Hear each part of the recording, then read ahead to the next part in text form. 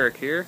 Hey everybody. We're gonna do a quick taste test of the Indian bitter melon. Here we have the Indian bitter melon.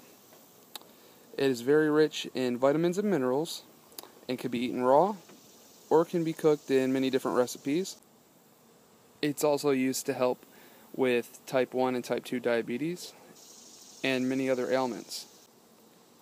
And now for the taste test. Okay, here we go. This is the part you just slice it up. Um, just want to take out the seeds on the inside.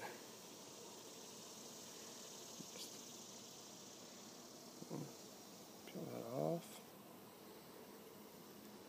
Okay.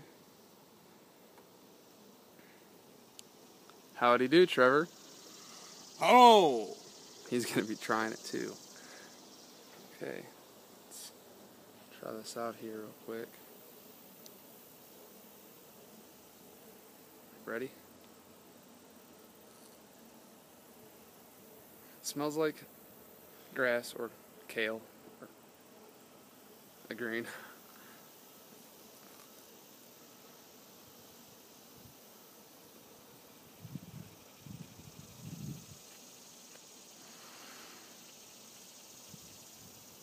Yeah.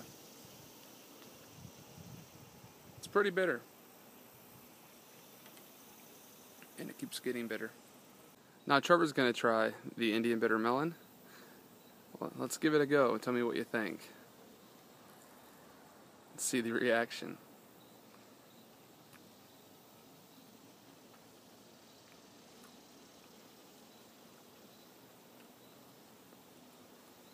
Feel it getting stronger and stronger.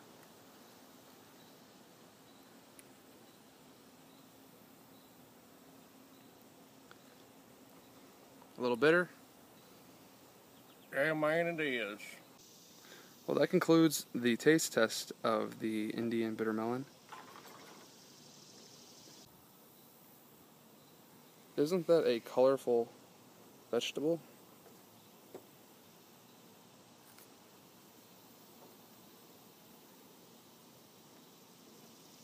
Now that I've tried it, why don't you try it?